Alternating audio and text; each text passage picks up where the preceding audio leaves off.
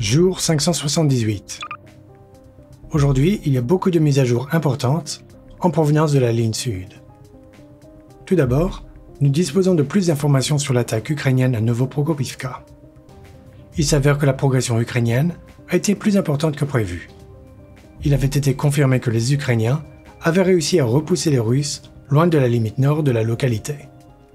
Cependant, des images récemment diffusées par la partie russe montrent que les Ukrainiens sont également entrés dans le village par le nord-est.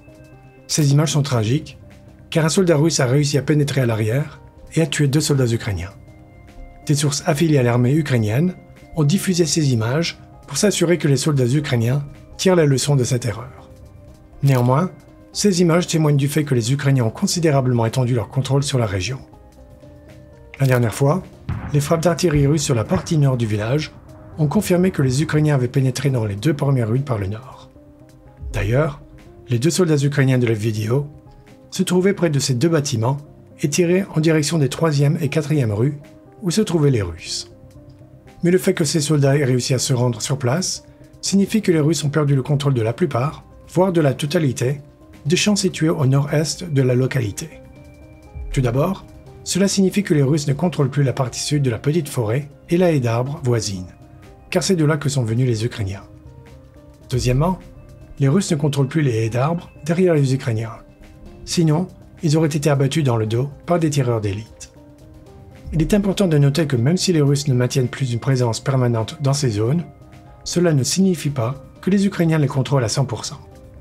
Toutefois, cela signifie que les Ukrainiens sont capables de se déplacer dans ces territoires et de mener des pénétrations beaucoup plus profondes. Et si nous regardons la carte topographique, nous pouvons voir qu'il s'agit de la partie du village la plus importante d'un point de vue tactique. L'élévation permet aux Ukrainiens de mieux contrôler les mouvements de l'ennemi. Les images récemment publiées par les tireurs d'élite ukrainiens, qui opèrent dans les environs de Novoprokopivka, démontrent clairement cet avantage. Comme on peut le voir, le tireur d'élite ukrainien observe le terrain depuis les collines et repère facilement les soldats russes qui sortent des abris situés à 1236 mètres. En conséquence, le soldat russe a été éliminé.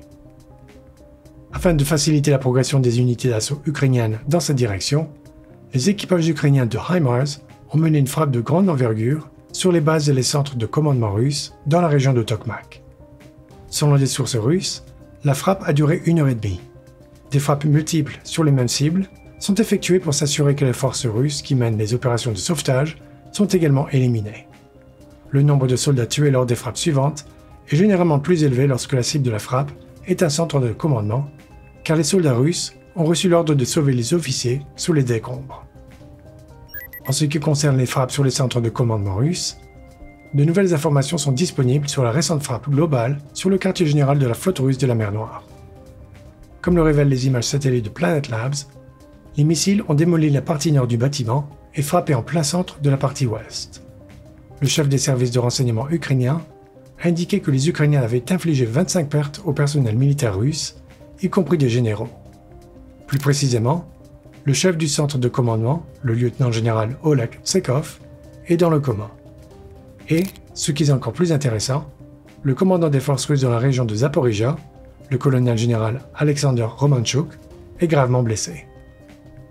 Ainsi, les frappes quasi simultanées sur les centres de commandement russes de Tokmak, Melitopol et Sébastopol ont permis aux Ukrainiens de liquider toute la chaîne de commandement, des commandants de bas niveau situés près de la ligne de contact aux commandants des niveaux moyens situés au milieu, en passant par les commandants de haut niveau situés à Sébastopol.